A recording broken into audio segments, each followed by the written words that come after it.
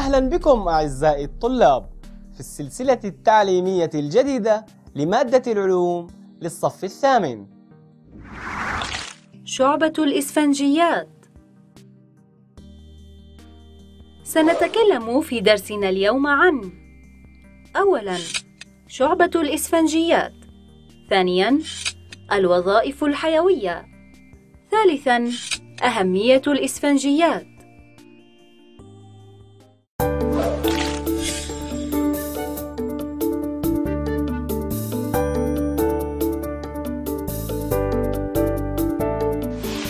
الإسفنجيات نوع من أنواع الحيوانات.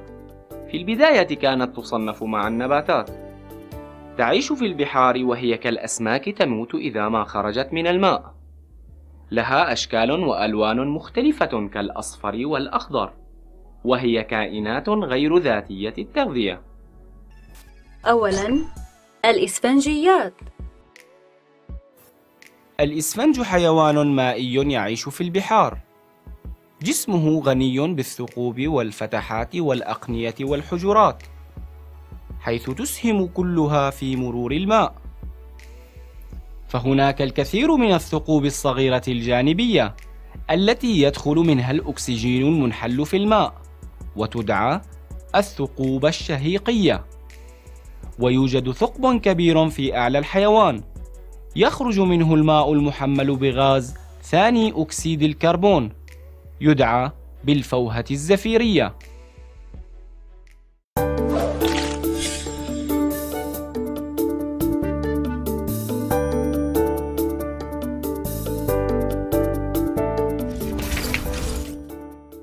لماذا سميت الإسفنجيات بالمساميات؟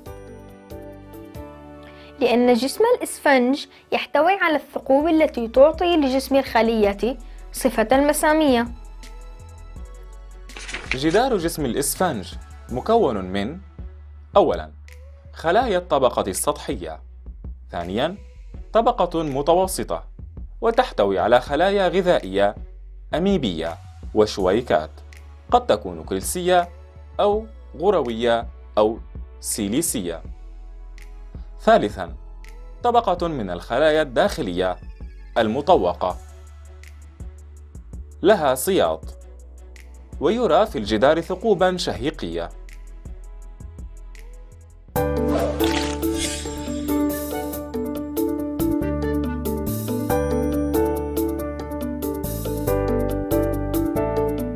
ثانياً الوظائف الحيوية. الإسفنجيات لا تنتقل فهي تتثبت على صخور البحار وعلى سوق وجذور النباتات المائية. والخلايا في الإسفنج غير مترابطة مع بعضها لعدم وجود جهاز عصبي يصل فيما بينها. للإسفنجيات وظائف حيوية وهي أولاً التغذية حيث يدخل الماء من الفتحات الشهيقية إلى جوف الإسفنجيات وتقوم الخلايا المطوقة بالتهام وهضم الكائنات الحية الدقيقة والمواد العضوية الموجودة في ماء الجوف الفعال. وتطرح الفضلات إلى جوف الإسفنج.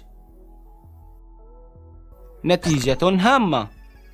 ليس للإسفنجيات جهاز هضم ولا جهاز دوران ولا جهاز إطراح.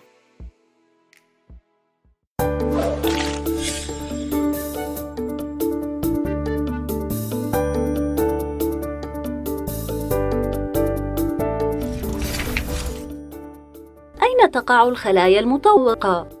وما وظيفتها؟ تقع في الطبقة الداخلية. وظيفتها تقوم بالتهام وهضم الكائنات الحية الدقيقة والمواد العضوية الموجودة في ماء الجوف الفعال وتطرح الفضلات إلى جوف الإسفنج. ثانياً التكاثر. يصاد الإسفنج من البحار في فترات متقطعة وذلك لأنه لا بد من ترك الإسفنج فترات معينة. لتتكاثر من جديد. طرق تكاثر الإسفنجيات. أولاً تكاثر لا جنسي عن طريق ألف التبرعم حيث يظهر بروز على سطح الإسفنج الأم. ثم يتمايز على شكل فرد جديد يبقى متصلا بالإسفنج الأم أو منفصلا بشكل فرد جديد مستقل. باء التجزؤ والتجديد. إذا قطع الإسفنج إلى قطع صغيرة فإن كلا منها ينمو ويكون فردا جديدا.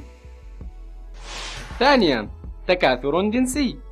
يتم عن طريق الأعراس الذكرية التي تلقح البويضات في الطبقة المتوسطة وتطرح البيوض الملقحة إلى الخارج عبر الفوهة الزفيرية لتتطور وتعطي أفرادا جديدة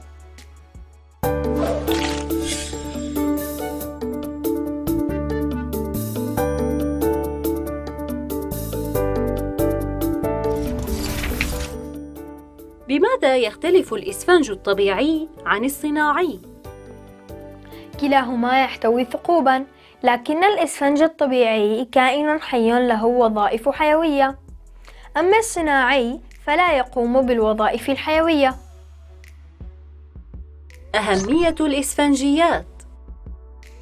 أولاً تستخدم الإسفنجيات في الطب.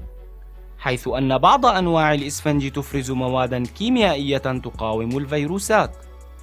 ثانياً تستعمل بعض أنواعها بالاستحمام والأغراض المنزلية. ثالثاً تستخدم للزينة لكثرة أشكالها وتعدد ألوانها الزاهية الجميلة. ملحوظة. تستطيع الإسفنجيات حماية نفسها من الحيوانات الأخرى بفعل رائحتها الكريهة. وبهذا نكون قد أنهينا حلقتنا لهذا اليوم. للاستفسار عن أي معلومة أو فكرة مرت معنا تواصلوا معنا عبر العناوين التالية.